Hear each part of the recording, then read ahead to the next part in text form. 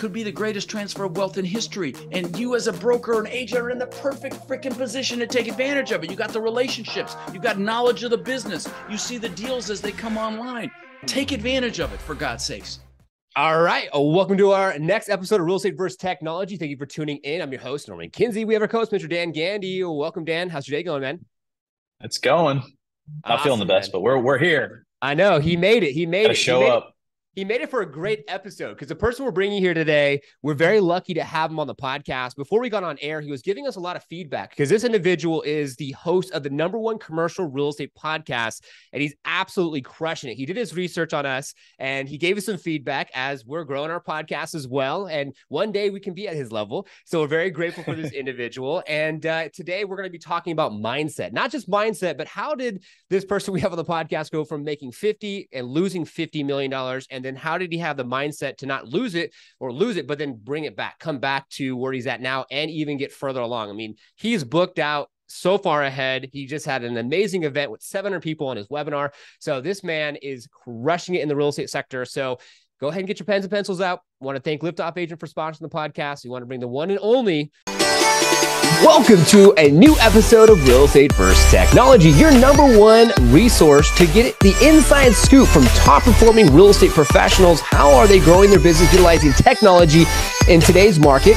Hear also from top performing coaches that can help and serve you in your real estate business and also technology providers. Let's go deeper with these technology providers to ask them how they got where they're at today and how maybe their services could better serve your real estate business. A big shout out to Liftoff Agent for sponsoring our podcast podcast, go ahead and go to liftoffagent.com to learn about their marketing and positioning services to help scale your real estate business. If you haven't already done so, like the episode, subscribe. We want you to comment on YouTube what you learned from the episode and give us a review if you're going to be listening and streaming this podcast. Thank you so much. We appreciate you and enjoy this week's podcast of Real Estate versus Technology.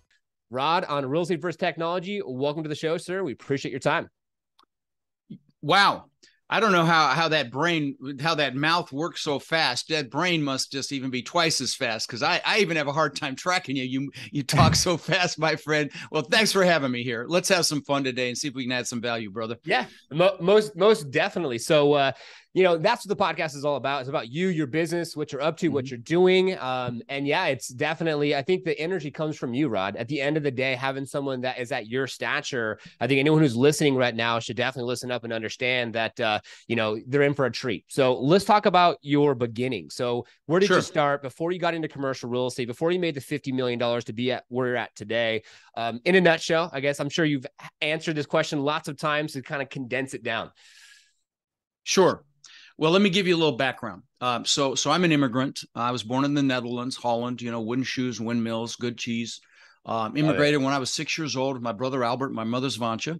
Um, we ended up in Denver, Colorado, and we didn't have much. Uh, I remember um, we uh, ate expired food because there was an expired food store. Drank powdered milk with our cereal in the morning because it was cheaper than real milk. Wow. I remember wearing wearing clothes from the Goodwill and the Salvation Army all the way through junior high school until I finally lied about my age when I was 14 because I was tall at Burger King and and started flipping burgers so that I could uh, buy my own clothes finally. And you know, um, I, I am sure you've got listeners that had it harder than I did, or maybe even have it harder now with all the craziness going on. But yeah, I knew I wanted more, and luckily my mom had an incredible work ethic um, so she work ethic.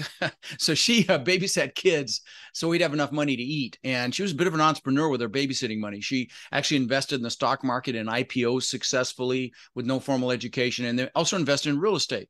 Well her first real estate acquisition was the house right across the street from us when i was 14 she bought for about 30 grand.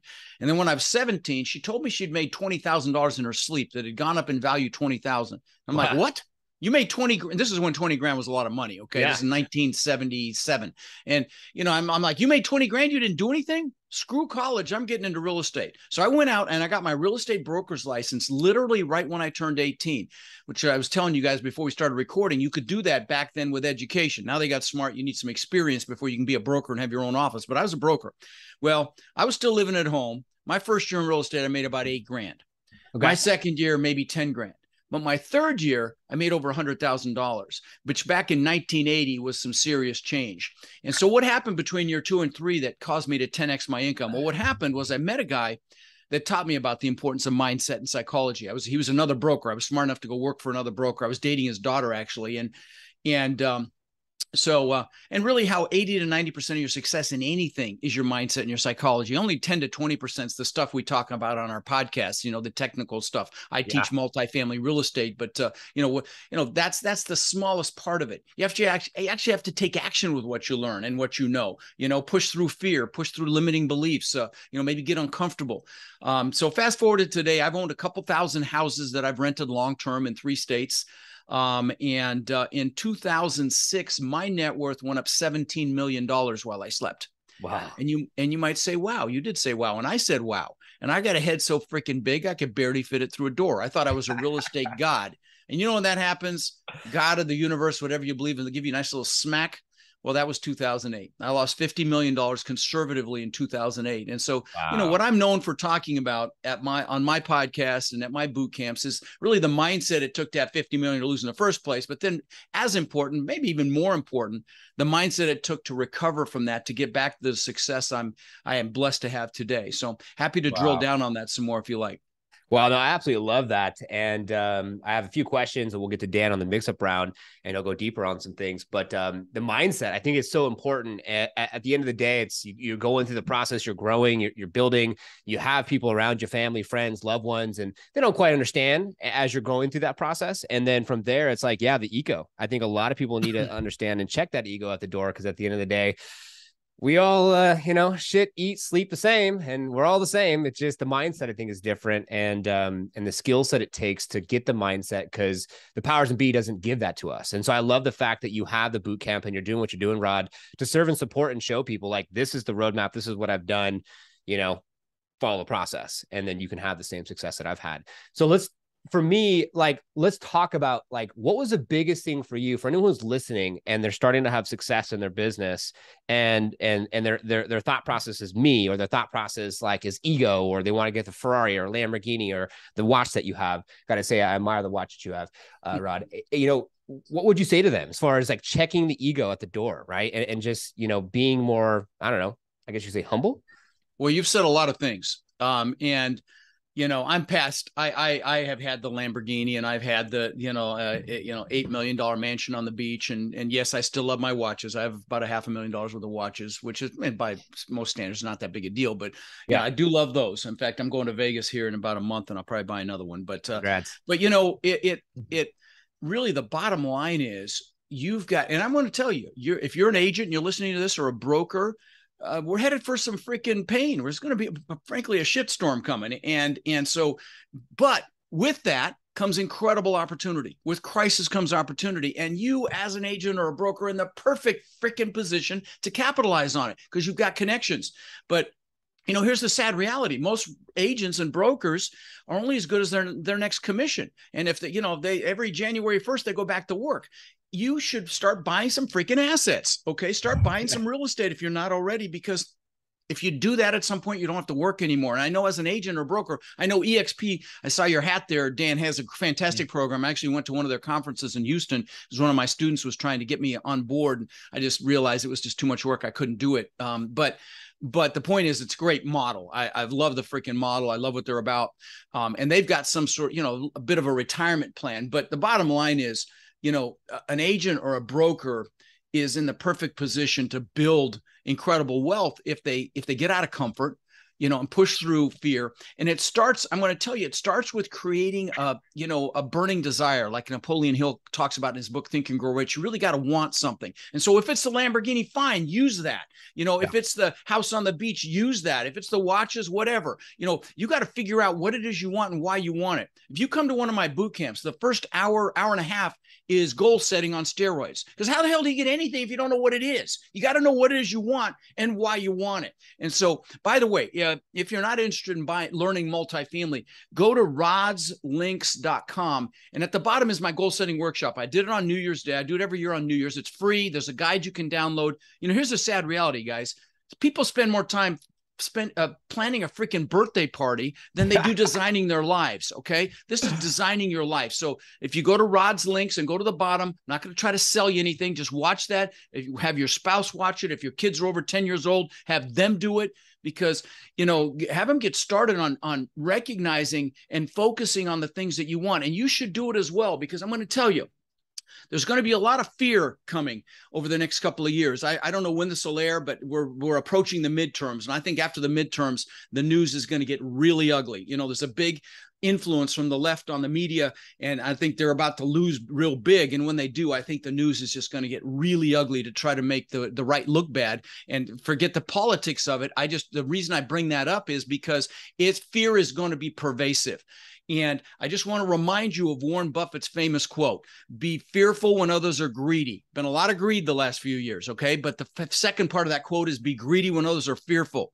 So, but the key to, be, you know, being able to capitalize on what's coming is to be focused on what you want, not what you don't want, because whatever you focus on gets bigger. And if you get sucked into all the crap on the news, which is primarily crap, you know, that's going to get bigger and yep. and and and so you know, I for example, they asked Mother Teresa if she was anti-war. She said, "No, I'm pro-peace." I mean, it's kind of a play on words, but you get it. You know, I get students that call me, well, not students, they know better, but I get people out on uh, call me up cold and say, "Hey, I need to get out of student loan debt." And I'm right, I'm like, wrong statement. You need to make so much freaking money that debt's irrelevant. Again, Ooh. again, it's that focus, okay? And so in what's coming, you know, if you're watching this or listening to this show, you're a leader. And for, right now, the world needs freaking leaders more than ever. But as a leader, you've got to manage your focus. So keep the crap out, stand guard at the door to your mind, bring in the good stuff. Um, you know, on my podcast, I do these clips every week called Own Your Power. And, you know, I just did one on the power of perseverance. Ever, And there's hundreds of them there. I'm really proud of them. They're with music. You give me five minutes a week, I will juice your ass. Okay. So just, you know, that's, that's, that's the truth of it.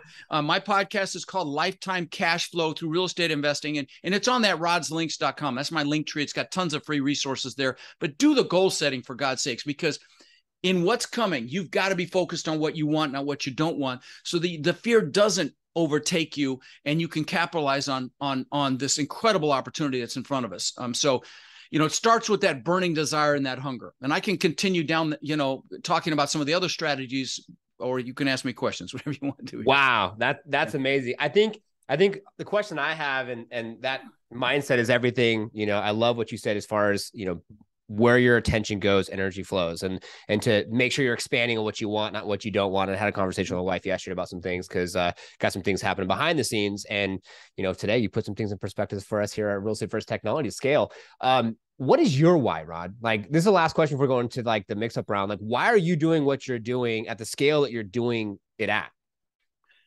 Okay, you can you can't really see, you guys listening can't see this but i'm showing the guys behind my green screen the whole you can't even see behind it but the whole wall is covered with hundreds of thank you cards i don't know if you guys wow. can see those okay yes. yep. um you know i'm past the whole needing to prove myself to the world that i'm good enough because you know when i immigrated this country um, i got thrown into school and I found out what bullies were for the first time. And you know, and then my mom, proud Dutch woman, that she just thought it'd be a great idea to send me to school in wooden shoes and those leather shorts the Germans wear for Oktoberfest. So I got my ass kicked again. And then they chased me home, and she chased them off with a fly swatter. Next day, ass kicking. And so I came up with this belief system that I wasn't good enough.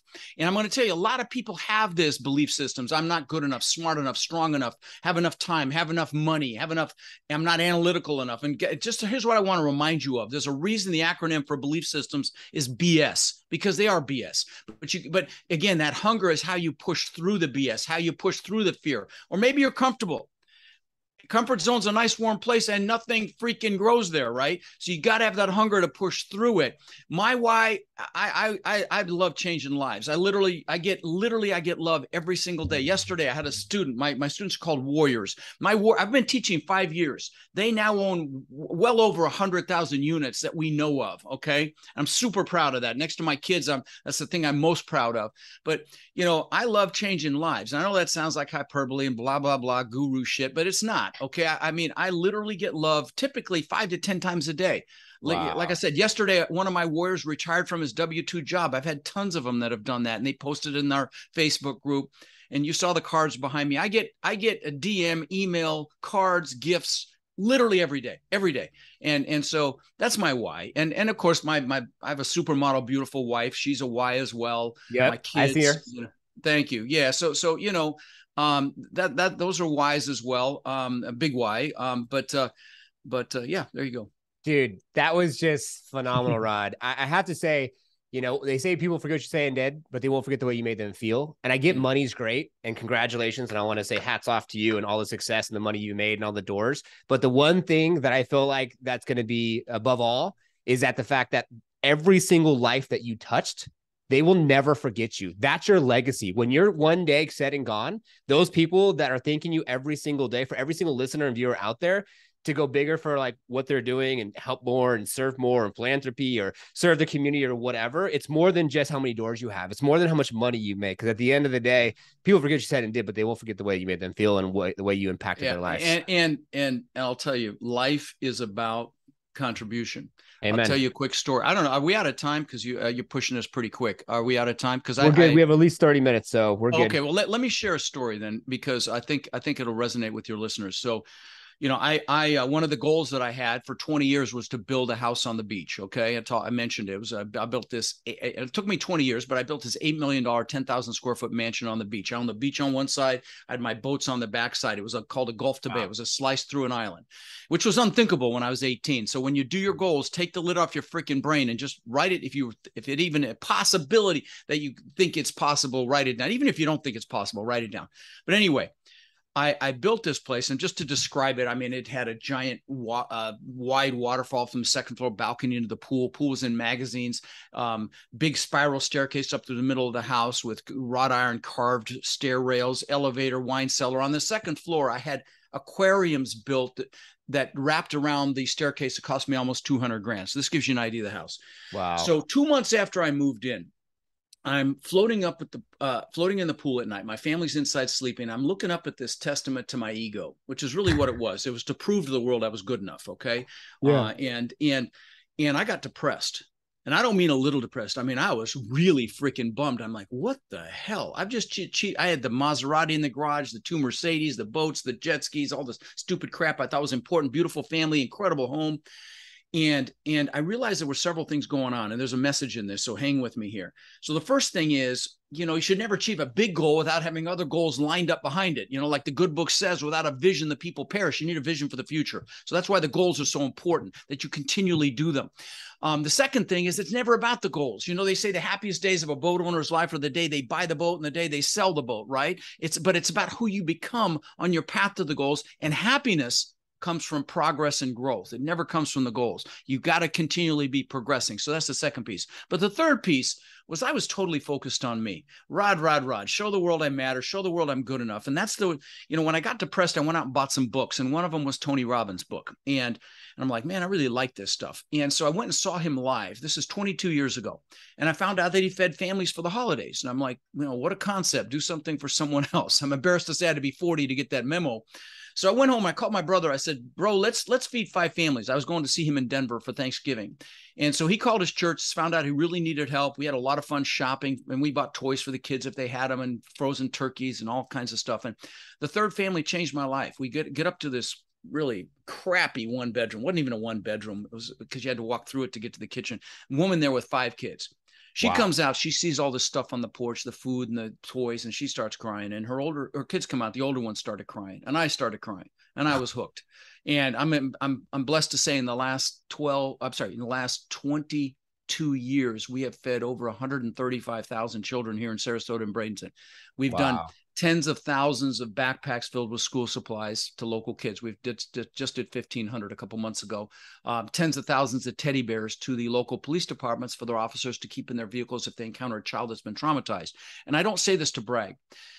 Here, Tony Robbins calls it the science of achievement versus the art of fulfillment. See, we've been taught to achieve, achieve, achieve to be happy. Like we can't be happy until we've achieved, right? But I'm going to tell you if you give back in any fashion, you're happily achieving. And I know it's a play on words, but it's an important one. Okay. Again, Tony Robbins calls it the science of achievement versus the art of fulfillment. Achievement's a science. You want to learn multifamily? I've got a boot camp coming up the end of January. Get your butt there. It's $97. I don't sell anything. Two days of training, nothing being sold. And I'll give you the blueprint to go kick ass in the multifamily business. Okay. But fulfillment so that's a science okay you just have to go do it okay i'll tell you what to do you just have to go do it that's a science it's, it's a proven formula but fulfillment is an art. You got to figure out what juices you. Okay. You know, for me, it's kids. Maybe for you, it's animals or the environment or the elderly, whatever it is. give back right freaking now. Now I know if you're listening and you've got blood dripping from your teeth and you want the Lambo and the and the watch and all that, and you're saying, "Yeah, I'll do it when I have money." No, do it right freaking now, even if it's just your time. Why? Because the money will come faster. It's the way the God or the universe works. Trust me on this, okay? Now, you don't do it for that reason, but that's just how it works. So figure out what's going to juice you, give back right now, and success is inevitable. You know, I did a, just one last piece. I did a, uh, I had a big boot camp in Denver uh, a couple of months ago. I had 800 people there, and I did awards from for 10 of my warriors. We started this process called the Hall of Fame, and there were 10 warriors, these my students that were there. And we did a slide for each one of them, and then we gave them an award and stuff. It was really cool. And I saw a pattern. Every single one of them does something charitable, build schools, raise hundreds of thousands of dollars for Veterans Affairs, sexual human trafficking, all that shit. I, literally, all, every one of them did something charitable. So that's a clue, my friends. These are my top students um, that you know own thousands and thousands of doors um, give back. So anyway, I just wanted to wow. make sure I got that out before we you know wrap things up if we you know wherever we are yeah um i know we have a i have a little bit of time to go over. I don't know if you and dan have a little time to go over or not. I know dan's not feeling whole that well but we'd love for dan to take off the the mix up round. So he has the mix up round and yeah. a last question or two take it away. we'll no take up. it away. I'm in no rush. I've got i've got 30 minutes but take okay. it away whatever you need. Cool. awesome. Go ahead dan. Take it away. Hey thanks norm. I think the the biggest brass tacks, and let's back up because we talked a lot about mindset, which is key to all of this. But I think one of the missing pieces from this conversation is how a real estate agent goes from commissions to investments. Yeah. Um, and I think uh, it's called education. Being, it's called education, man. That's it. Okay. Let, you know, I mentioned, if, sorry to interrupt you, but I, I mentioned my boot camp. Let me just throw it out there real quick because, I mean, it's $97 and I don't sell anything there. And it and it's drinking through a freaking fire hose. It's not like I'm going to tease you and try to upsell you. None of that crap. Okay. Uh, and so text my name, Rod, to 72345 or go to multifamilybootcamp.com. Again, text ROD to 72345. If the price goes up, it'll go up to about 400 bucks. Just let me know you saw, you heard me or saw me, you know, on Dan and Norm show here. And I'll, I'll just DM me on any social channel. If you go to Rod's links, you'll see all my social channels. DM me, I'll get you that $97 price. No issue. But again, I don't sell anything there and it's every aspect of the business. So if it's, if you think your vehicle is going to be multifamily, get up to speed as fast as you can. Start listening to my podcast as well. Get up to speed as fast as you can. Now, if it's single family, then get up to speed on that as fast as you can. If it's a different asset class, retail, office, industrial, get up to speed. Because once this thing really crashes, and it's coming, okay i mean it's coming uh, trust me it's going to be some some pain in this country once that happens if you're trying to learn it then it's going to be too late you need to learn it right now so pick your vehicle you know, and and and get up to speed as fast as you can. So I'm sorry I interrupted you, but that's the answer. No. Okay. No, that's good. It's it's education. Um, as somebody who I've bought a million dollars in real estate every single year, I've been a broker, and nice. I look I look at the education part as the most important, but also the the opportunities, the relationships. How do you how do you instruct your agent, you know, students? Mm-hmm. Yeah. Is it other? Is it OPM? or is it using yeah absolutely. Absolutely. There's so much money looking for a home that got killed in the stock market. We won't even talk about crypto. I've seen crypto millionaires crying on social media. No there's so much money looking for a home that's not getting decent returns. And you know like multifamily incredibly resilient safe conservative asset class. It's bought right of course but uh you know but but you you you uh you, you can raise money for your deals i don't know about you but i'll take 50% of something over 100% of nothing any day. So That's so give up half the deal or whatever. When I was in my 20s, I bought millions of dollars worth of property 50-50 with partners. They put up the money, I did all the work, I found them, I fixed them, I managed them, I sold them. Everybody was happy. And I didn't have any money in them. You know, uh, they even signed on debt. So that's what's possible. But, you know, you've got to be educated enough. You've got to be competent. Okay. It starts with competence. Then that equates to confidence which would then equate to your ability to influence people. But it starts with competence. You've got because you've got to have. You're not going to BS your way to give have somebody give you hundreds of thousands or millions of dollars. Like I just raised 19 million for a deal we closed on last week in Nashville, and and it starts with that competence, then the competence, and then you can influence people to invest with you. But there's a lot of money looking for a home, and there always will be. It's going to be a little harder because people are going to be afraid.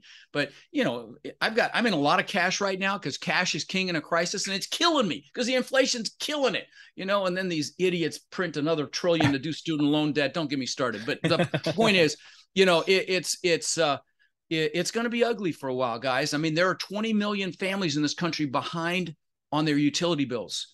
You know, I owned a foreclosure support company right after I lost everything, and, and we helped thousands of families save their homes. And I sold it a few years ago, and I had lunch with the guy that bought it from me a couple weeks ago, and he said it's like a freaking tsunami of foreclosures coming. So if you're a realtor, learn short sales, learn how to do workouts right away because there's going to be a ton of them. I mean, you know, they had that foreclosure moratorium and they had with the eviction moratorium. Well, those foreclosures are now starting to hit and there's tons of them. Um, so, yeah. you know, we're, we're headed for some pain, guys. And so, but again, it could be the greatest transfer of wealth in history. And you, as a broker or an agent, are in the perfect freaking position to take advantage of it. You got the relationships, you've got knowledge of the business, you see the deals as they come online. Take advantage of it, for God's sakes. Yeah, I think that was, you know, that education piece. And I think uh, having the mentality of being an asset manager, if you mm-hmm. want to use other people's money to invest, you better yeah. be the best asset manager possible. And I think don't that's dabble. What, don't dabble. Yeah. Yeah. I think that's, that's huge because when I used to work in syndication, I've seen a lot of bad things go wrong. People get sued, investors go belly up, right? Sure.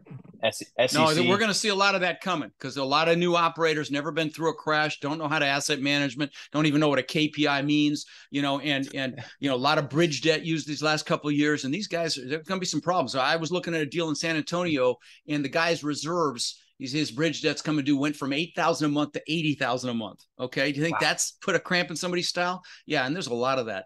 So you know, again, yeah. opportunity. It's going to be some pain hey listen i lost 50 million i got past it you can get past it too if you you know if you if you're in that position. Just keep keep your eye focused on the goal and move forward. Wow. Awesome awesome. Back to norm thank you. Man that was huge. I gotta say hats off everyone was listening. Look how rod takes advantage of opportunity. I understand that he he like dan had the question he already had the answer he already had the freaking solution. Go to this yep. link make it happen. Links are down below for rod so you have everything there so you'll be good to go um, so just that's the recap for the, the mix up round. One or two last questions. We'll leave the yeah, floor open to you time. to go ahead and leave anything yeah. for our viewers and listeners. So it sounds like after going through what you've gone through to where you're at now, it sounds like the passion behind you now is just to help more people thrive, help feed more families. I mean, it's it addictive, like- man. It's addictive when you get that kind of love. It just is. You know, I, I, I work way too much though, and, and and and my wife puts up with me working on Sundays. And and again, if you saw her, you'd see the big mistake I'm making there. But it becomes addictive. So, yeah. Wow, that that's amazing. So I guess the last question for me, completely off of anything business, courses, anything mm. related on that side what do you do for fun, man? I, I know you say you work. oh, much, I love to. Have... I love to fish. I love to go to the beach. I was just on the beach a couple days ago. Um, uh, posted a little video. I show off my wife, and then I post a video. That's me just. Uh, I see showing that. her off because she's so gorgeous. But um, um, no, I, I, love to travel. That's probably my biggest thing. Uh, love it, and I need to do more of it. And and that's what I'm. You know, I'm starting to look at life through a lifestyle filter instead of, you know, just balls to the wall.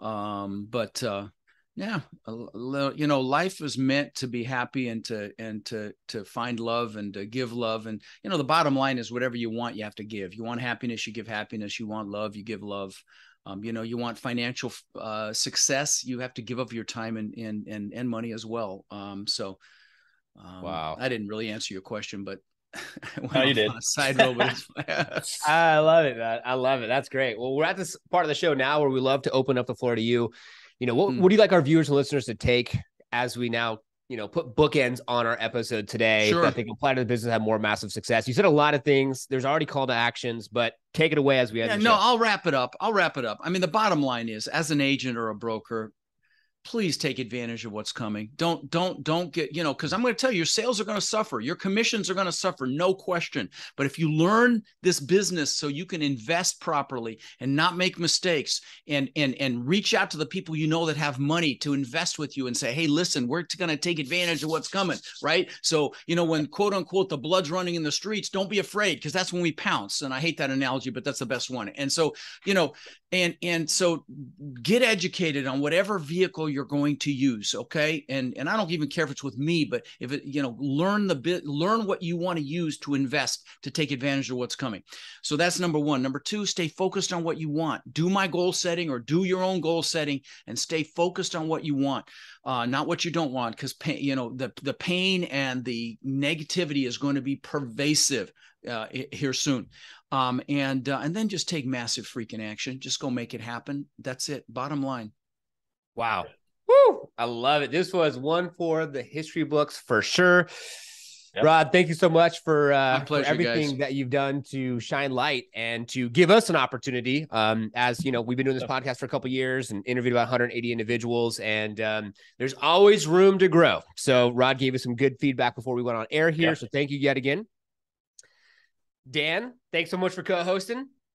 Thank you, guys. Thanks for bearing with me. I am and, not feeling good. Yeah, man. but I'm here, buddy. Hope you feel better, man. We hope you feel Appreciate better. It. And for our viewers and listeners, here's going to be a prime example of taking massive action. Rod said before we got on the air, encourage everyone to like the episode, subscribe. And one thing we've never done is ask anyone to leave us a review. We thought we are leading by example by having amazing guests on the show. That's not enough. So please take massive action. Go get Rod's course. Check the links down below. Like, follow, subscribe. Primarily one video, but we also have this streaming as far as far as the audio as well. And we appreciate your time, and we'll see you on the next one. Thank you for watching Real Estate vs. Technology, this week's brand new episode, and making it to the end, your real one. If you haven't already done so, be sure to subscribe to our YouTube channel, hit the notification bell so you'll be notified for new episodes that come out every single week on Fridays at 3.30 Pacific Standard Time. Also, if you comment on this episode and you like the episode, you'll help this episode get out to more individuals. And if you want to join our Facebook group page, just click a link. It's a Facebook icon on our profile page here on our YouTube channel. Join our group page, network with individuals all across the world, and share what technology you're using to grow your business. The next link is to join our Real Estate vs. Technology brand new IG or Instagram page. If you go on any of our stories, you can see who's going to be on Real Estate vs. Technology before it actually goes live on our YouTube channel. And the last link would be if you want to be on an episode of Real Estate vs. Technology. You pick a date and a time. We'll deep dive into your story and technology you're using to share that with other individuals that view our episodes weekly to inspire, enlighten, show up, and show out for people that love to watch these type of podcasts to have more success in their own business. Thank you so much for your continued support. We appreciate it. We will see you on the next one.